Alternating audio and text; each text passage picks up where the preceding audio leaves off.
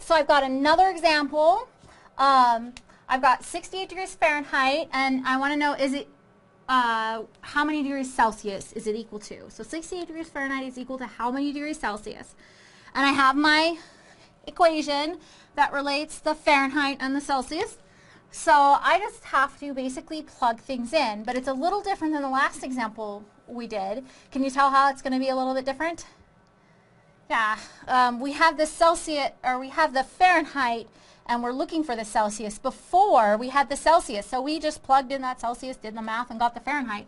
But this one's a little bit, a little bit tougher. Not too bad, though.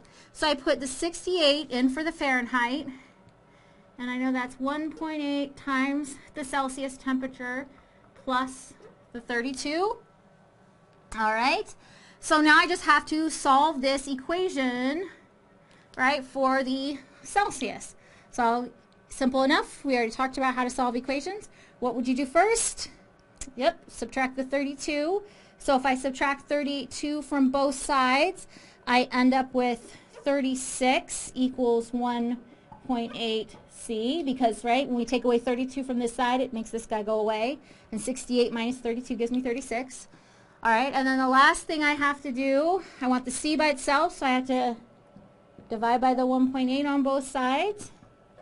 And believe it or not, 1, 36 divided by 1.8 is 20. So 68 degrees Fahrenheit is 20 degrees Celsius, and that's all there is to it. So if you, you're given the Celsius temperature, and you want to get the Fahrenheit temperature, you pretty much just have to plug into the equation and do the computation.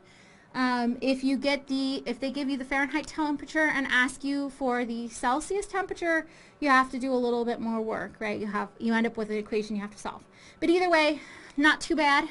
You know how to do all these things, so it should be pretty straightforward as long as you remember um, Fahrenheit temperature is equal to 1.8 times the Celsius temperature plus 32.